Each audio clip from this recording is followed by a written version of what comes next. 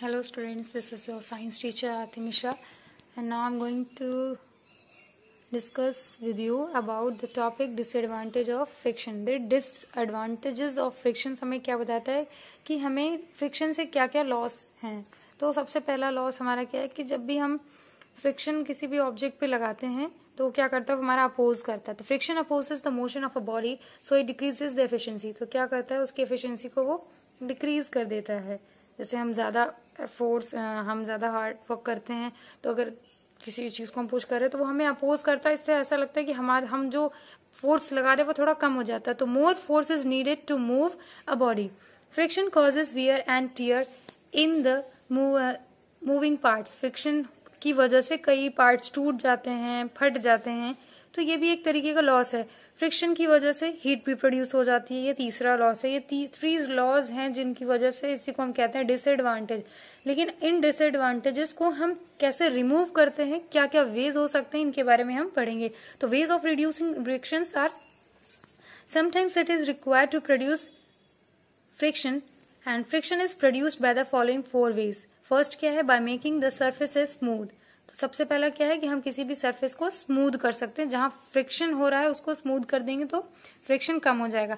तो ऐसी सरफेस को हमें क्या करना पड़ेगा? या तो हम उसकी पॉलिशिंग कर दें।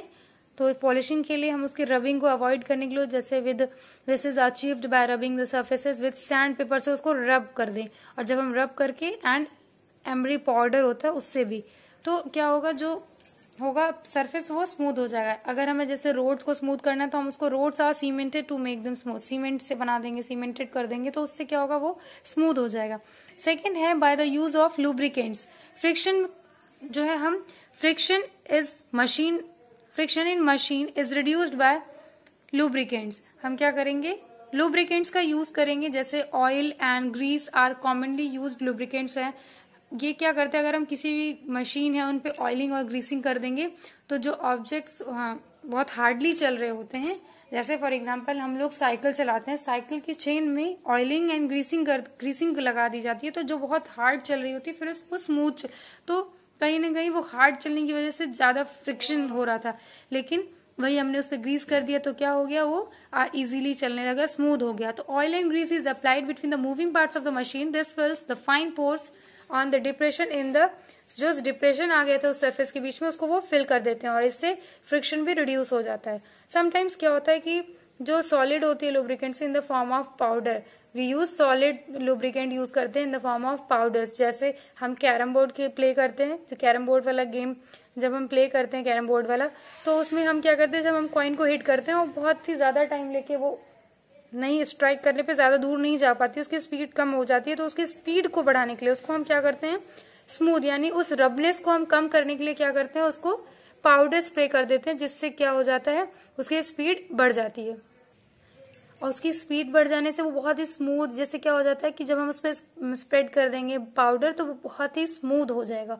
और उससे जब हम हिट करेंगे तो हमारी कॉइन डायरेक्टली वो जो सर्कल बना होता है, यानी गोल जहाँ पे करना होता है, वहाँ पे चले जाएगी कॉइन थर्ड है by the use of ball bearings ball bearings का यूज़ करके. तो बॉल बियरिंग्स का यूज़ करते हैं क्यों? क्योंकि rolling friction is less than the sliding friction rolling friction is much less उससे बहुत कम होता है स्लाइडिंग फ्रिक्शन तो हम क्या करेंगे? व्हील्स और एक्सल्स की जगह पे हम बॉल बियरिंग्स को यूज़ करेंगे ताकि फ्रिक्शन रिड्यूस किया जा सके. व्हील्स एंड एक्सल्स की जगह पे हम क्या करेंगे?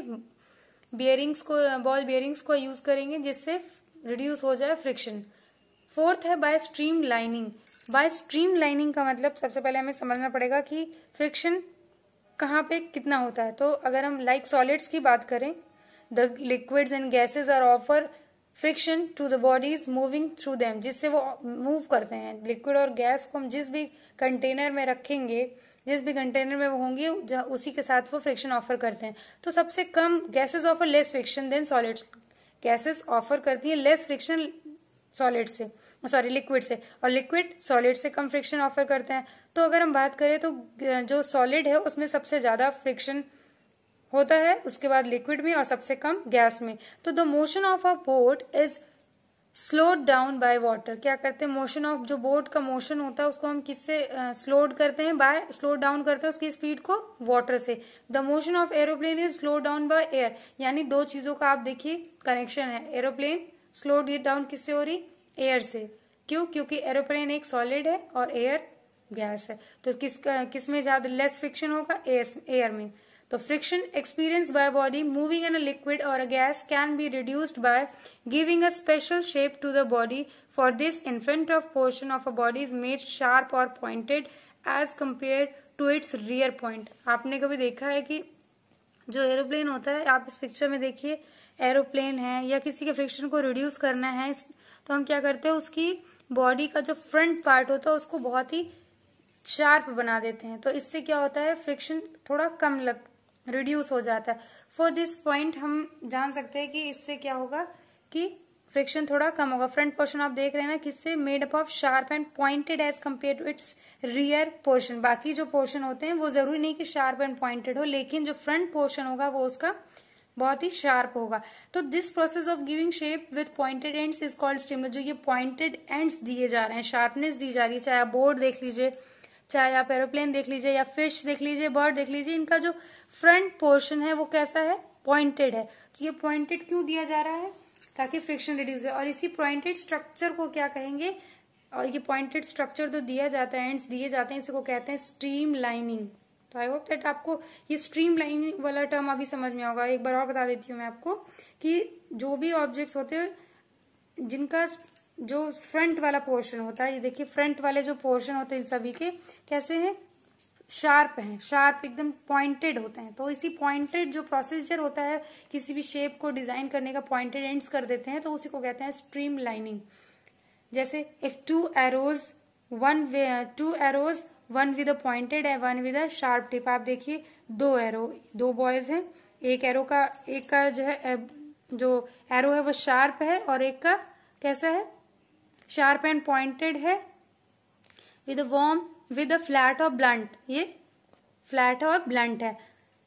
Are thrown into air इसको हम दोनों दो, दोनों को कहा थ्रो करेंगे? एयर में। तो हमें देखेंगे कि जो arrow with sharp tip covers है ये ज़्यादा डिस्टेंस ट्रेवल करेगा। जिसकी टिप शार्प होगी जिसकी टिप पॉइंटेड होगी वो ज़्यादा डिस्टेंस ट्रेवल करेगा। जिसकी टिप ब्लंट और ब्लंट होगी फ्लैट होगी वो कम डिस्टेंस ट्रेवल करेगा। तो arrow with sharp tip experiences जो शार्प टिप है, उसको less friction for in air देखना पड़ेगा। यहाँ लिखा हुआ है the arrow with the sharp tip experiences less friction in air जिसकी वजह से वो ज़्यादा डिस्टेंस ट्रेवल कर पाएगा।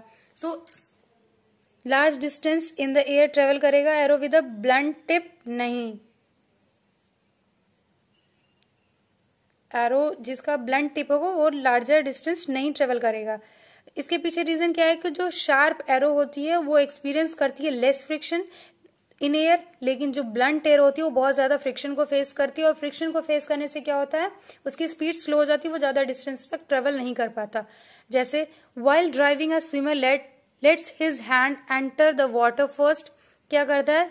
जब वाइल जो डाइविंग मतलब स्विमर जो होता है, सबसे पहले क्या करता है? स्विमर अपने हैंड्स को पानी के अंदर वाटर के अंदर सबसे पहले डिप करता है फॉलोड बाय हिज हेड अपने हेड से उसको फॉलो करता है and body so as to reduce the friction between the himself and water क्यों ऐसा करता है ताकि उसके वाटर और उसकी बॉडी के बीच में फ्रिक्शन कम हो सके the, the shape of a boat, car, aeroplane, train, etc. is designed to be a streamline. इस इसी वजह से जो बोट का शेप है कार का है एरोप्लेन का है, ट्रेन का है, ये सब इस तरीके से डिज़ाइन किए जाते हैं कि इनमें फ्रिक्शन लेस हो। इज़ डिज़ाइन एज स्ट्रीमलाइंड इनकी बॉडीज को स्ट्रीमलाइंड वे में डिज़ाइन किया जाता है। In nature the shape of fish and the birds are streamlined so that they can easily move in water और एयर इसी वजह से फ़िश पानी में अच्छे से स्विम कर पाती है, तैर पाती है। और इसी वजह से बर्ड एयर में अच्छे से मूव कर पाती है फ्लाई कर पाती है। I hope that you will understand the disadvantage of friction and how can we reduce the disadvantage of friction. So I hope that you will understand it carefully. Thank you for watching.